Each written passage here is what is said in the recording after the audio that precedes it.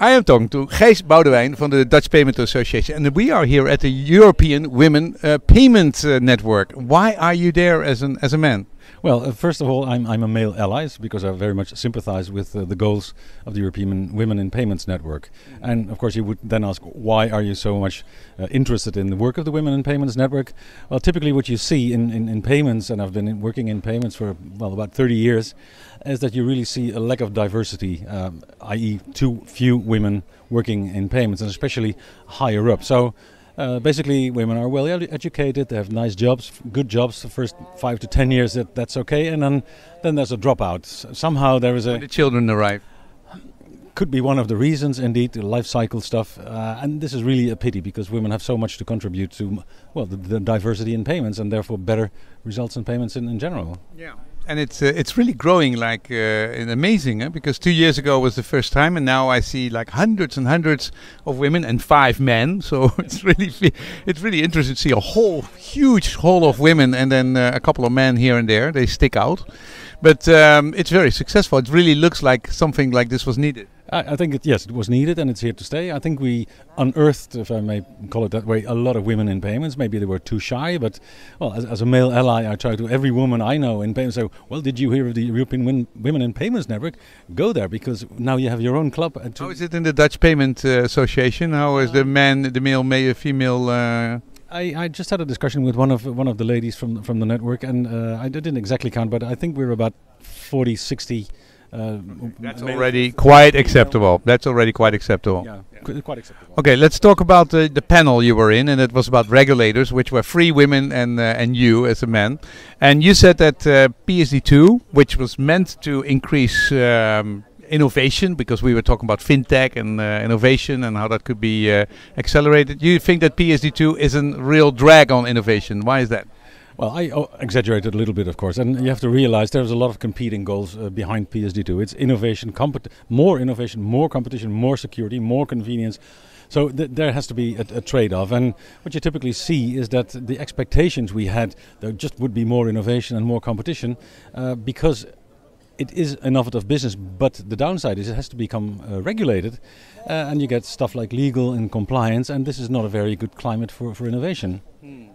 And do you think that uh, fintech companies have a problem? Are they not big enough to have the amount of uh, compliance officers and uh, and, and, and people uh, busy with all these regulations? Well, it depends on what you call fintech. Uh, in, in our uh, jargon, we say we have regula- regulated fintech and non regulated fintech. Typically, everybody thinks with fintech, three guys in, in an attic uh, developing something uh, new and shiny. Uh, but IGN, with, which is worth twice as much as the ABN AMRO. Yeah, so ranging so to again. Yeah. So, yeah, and banks call themselves fintech too. So, oh. the really the, the startup fintechs, yeah. they typically will encounter issues. it's not just having a good idea and implementing it and then get into the market, then you have to pass the test, then you have to comply with regulation.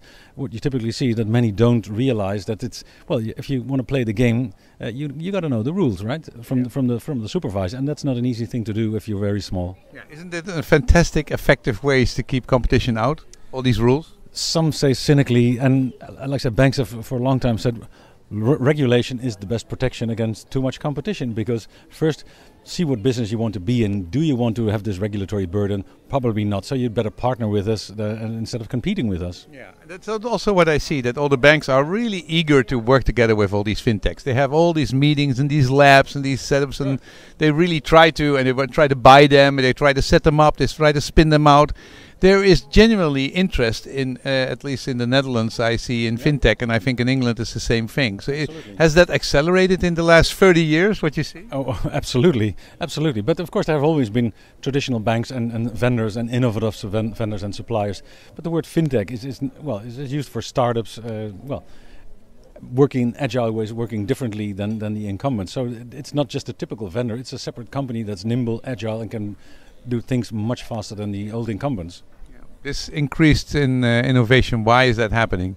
Is that just technology, just the internet? Uh, it's a lot of combination. Well, regu regulation also plays a part, of course, uh, but it's it's it's technology, it's it's competition, it's changing consumer behavior. It's well, it's Europe. It's well, it's not just Europe. You see it uh, across the globe. The, the, real big tech they come from they come from China and they come from the US, not from uh, well, Adyen you mentioned is a Dutch unicorn, but it's not nothing like Facebook or, or Amazon. Yeah. Well, it's it's getting there. It's, uh, it's becoming quite uh, valuable and quite quickly. So uh, they are they have the potential to It's do something. beginning, Yeah, it's it's a beginning, but uh, one of the bigger questions in, in Brussels, where I spend a lot of time, is shouldn't we have a European platform like Facebook? And then yes, that would be And nice. Google, and, and Google and Amazon and Baidu and Tencent. Akamai. Or Akamai, yes, that's a nice one. But you just do not like with the snap of your fingers. I mean, it's that didn't appear out of nowhere. You can't just do, oh, let's build a second Amazon. It doesn't work that way. Probably too late for that. Are they frustrated there in Brussels that uh, they are dependent on all the Ali, uh, the Alipays and the uh, Amazons and the uh, and the different uh, big, huge Americans? Uh, I, I think so. You've got several ways of looking at it. Do they pay taxes? That's that's one thing. Uh, uh, how does competition law apply to these huge platforms? Uh, well, uh, what what are they doing with the data? Are they complying with GDPR? So there are a lot of concerns that arise out of their their sheer size, but also the massive amount of data they have. Yeah, yeah. GDPR, another beautiful law, uh, reminds me of the cookie, uh, the cookie uh, legislation which had in the Netherlands that everybody's getting totally crazy to click on. Do you agree with this? Yes. Do you think that's going to uh, stifle competition? Well, it's not going to stifle competition. It's just well irritating that you have all these consents. It, it's necessary, but somehow this is uh, well. I, I just had to click away uh, a few cookies this morning on my smartphone. Ah, it's so annoying. So if GDPR would mean I have to constantly click or I, I agree, I give consent, etc. As long as the Dutch were already used to that. We already had to do that with every website, but Yeah. now everybody in Europe has to do Yeah, it. The, the point is, people just click it away and, and just don't read what they what they click for. So uh, the, the problem with GDPR now is it's it's more than cookies. Uh, the danger is you do not the average consumer will not realize what consent he is giving to whom for what.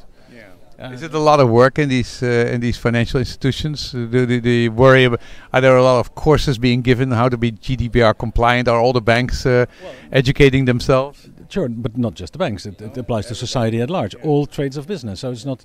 And I No, think, I mean, you are you have the payment association, so I'm asking you as an expert of that of that industry. yeah, I, I think traditional banks are compliance is, is core business. Also GDPR compliance. So they have massive projects, and I, I, I think I can say that banks will be or are uh, GDPR compliant. I think if one sector is compliant, it will be the banks. It's core business to be compliant. That's really interesting. Okay, hey, um, are there any rules which Europe could come up with to make diversity inside uh, companies more uh, regulated and more positively stimulated? I can only sort of repeat words of our prime minister. We, we're not going for gender, we're going for quality. And uh, Oh yeah. I also know another one like Gerrit Zalm. I don't know any competent women which are uh, you know, which can be a minister. So that's also you can say that. Yeah, but it, it's very hard. I, I read that in, in the US, uh, apparently there's a law go- being passed in, in a state, or I don't know, or federal law, I don't know, uh, that there's at least 50% of women at board level have to be, uh, uh, Thirty. 30% must be uh, women. Well, if, if, if that's what it takes, uh, we, we probably need that too. But again, you also need to take care of quality. Thank you, Gijs, and thank you for uh, being uh, such a promoter of the European uh, Women Payments Network. Uh, you can see that also men can be a member of that organization, and they can also be an enthusiastic stimulant. So, uh, thank you for that.